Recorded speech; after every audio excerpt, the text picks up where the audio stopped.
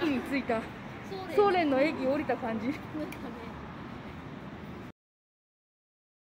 ンバウンド化する前の浅草みたいな感そうだね。じうん逆にこっちの方が落ち着いてていいかもしれないね。なんか気になるお店がいっぱいありますね。すごく今楽しいところだと思う。じゃじゃーん。あすごい。うおおすごいね。これ行くしかないでしょ。すごいお肉臭があすごいパワースポット感うん。この匂いがステーキ食い上がれの匂いだったらすごいよね。が私もずっと思ってる。駅前からずっと匂ってたからあの向こう側足の魔所キッチンっていうのちょっと気になるんだけど。場所ってあれかな。韓国だと思うよそろそろこの辺じゃないかなと思うんだけど。じゃああの路地かな。娘さんがさお団子買って帰る YouTube があってさ駅の向こうで買って戻ったのかな。あ通り道にいなかったじゃん。あそうねさっきの甘酒屋さん何屋さんは違うあのいつもの伊勢の団子屋さん。あやってんのかな？マンボウですね。そんなことねえべ。11時半か今やってる時間ですけどでも何も出てないでえお休みマンボウだからじゃないマジか。やってない。残念です。振られちゃったここまで来たのに。すごいすごい振られ方。ははいい以上です。えー現場からは以上です。はい。ペコリ。ペコリ。すごいみこしが大きい。町内会のみこしぐらいしか見たことないからさ。この辺違うよ祭りの時にみんな仕事休むんだよあそう本気だもんね、本気じゃない。お水出てんのかな？手洗った方がいいかな？わあすごい。自動だ。ええ逆に寂しいよね。全自動って。お参りするにも並ぶってすごくない？お参りが終わって帰ります。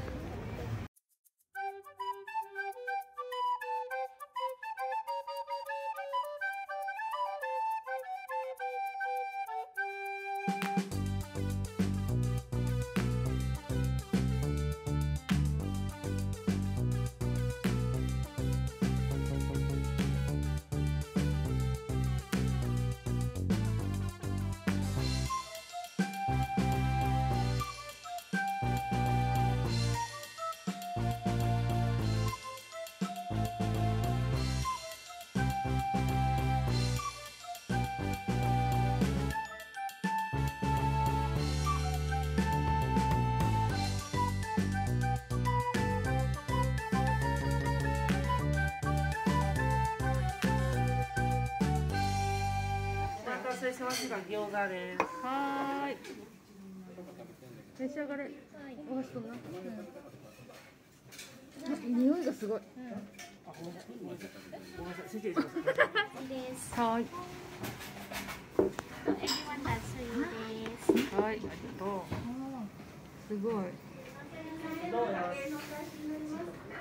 なんかパクチー茹でてるうん麺がめっちゃ細い。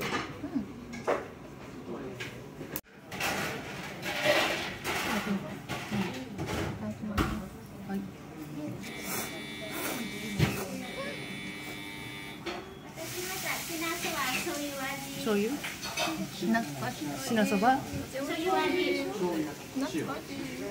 お、ま、間違えられてないから大丈夫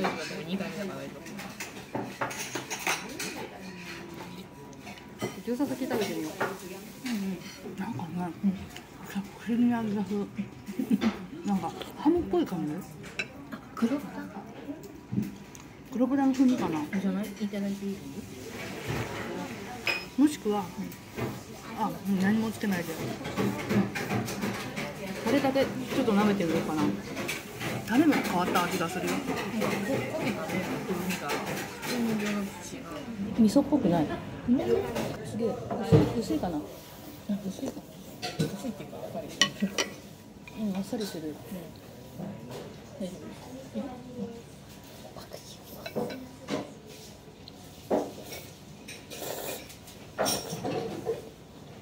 麺美味しい。麺は美味しい。うんうん。やっぱ味薄いかな。あ、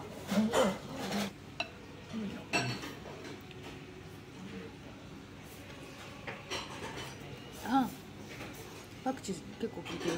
あそこにパクチーがあったとこだから。あお醤油の方が美味しいかもしれない。ちょっと飲んでみる？ここスープ取って。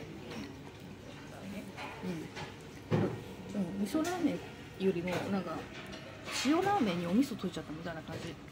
なんかザ味噌みたいな。普通の味噌汁に入ってるような味噌を。ニンニクとか効いてない感じの普通のなんかお味噌を入れちゃったみたいな感じがするよね。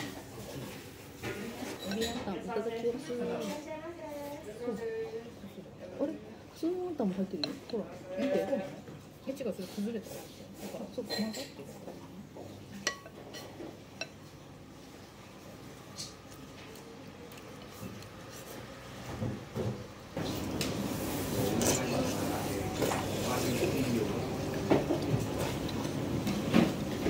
あれがすごい不思議な味がするんだけど。お酢があれなのかなマヨネーズそれだなん。かさマヨネーズせん。べいみたいな味うん。うん。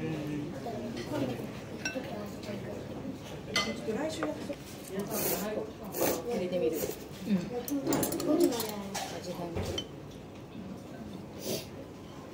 レンゲの中でやった方が美味しいかも味変わっちゃうじゃん。全部そうねいろいろねああだなこうだなとそう。柔らかい。